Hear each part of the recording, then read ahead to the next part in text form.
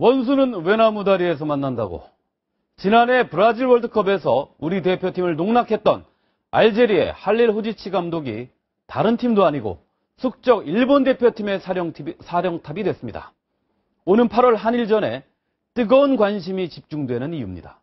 장치혁 기자의 보도입니다.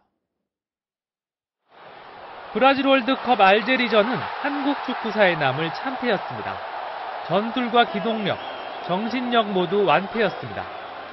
알제리 악몽은 잊혀졌지만 할릴로지치 감독과의 악연은 끝난 게 아닙니다.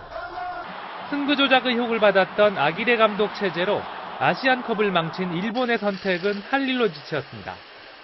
Il se trouvait dans la même position, il doit être 52e. Après trois ans, il, était- il se trouvait à 17e place.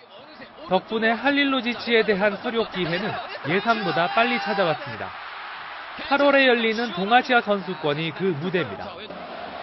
한일전은 언제나 특별하지만 할릴로지치 감독이 이끌게 되면서 그 의미가 더더욱 커졌습니다.